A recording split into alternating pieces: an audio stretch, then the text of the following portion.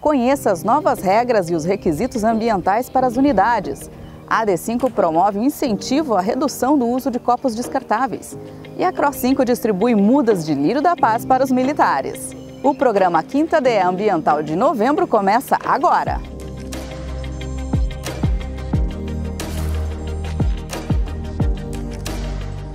Em outubro, uma nova portaria trouxe mudanças nos níveis de conformidade que as organizações militares devem cumprir. Agora, o primeiro nível de conformidade é obrigatório para todas as unidades. O Programa de Conformidade Ambiental do Sistema de Gestão Ambiental do Exército Brasileiro, SIGAEB, tem três níveis de certificação.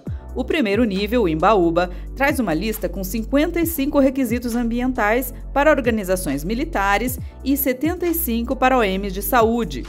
A unidade deve cumprir 100% desses itens, pois eles correspondem às exigências legais para a operação da organização. A lista deve ser verificada anualmente e é de caráter obrigatório. A maior preocupação nesse nível de conformidade é com o descarte e o transporte dos resíduos perigosos, que trazem riscos à saúde e podem contaminar o meio ambiente como por exemplo óleo lubrificante, combustível, estopas com graxa, embalagens de tintas e dissolventes. E ainda no ambiente administrativo, as lâmpadas fluorescentes, pilhas e baterias. Esses resíduos eles precisam ser dados uma atenção bem especial, pois existem empresas licenciadas para fazer tanto o transporte desse tipo de resíduo quanto a destinação final.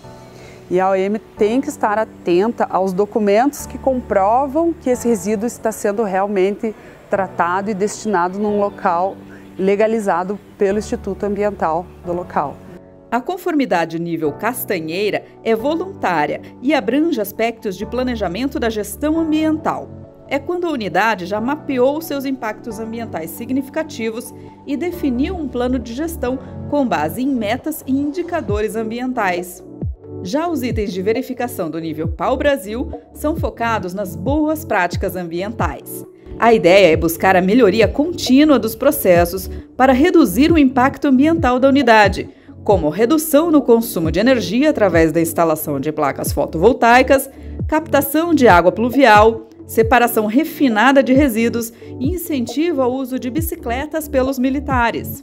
Já é um nível mais elevado onde já tem indicadores de, de economia, né, é, treinamentos para toda a, o, o, efetivo da OEM, inclusive é, pessoal civil.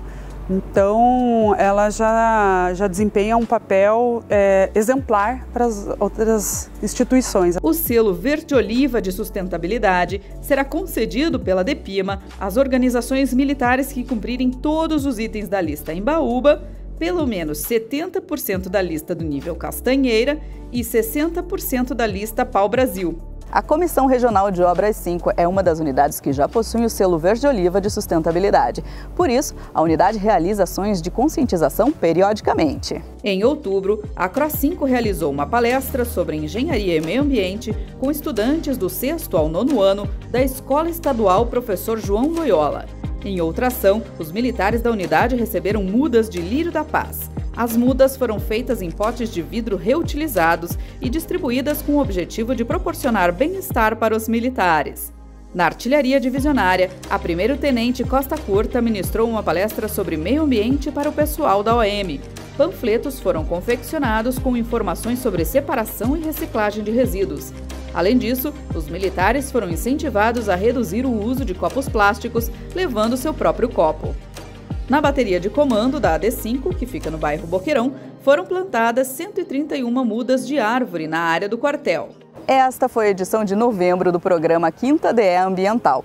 No próximo programa, você vai saber onde será construída a segunda maior usina fotovoltaica do Exército Brasileiro. Até mês que vem!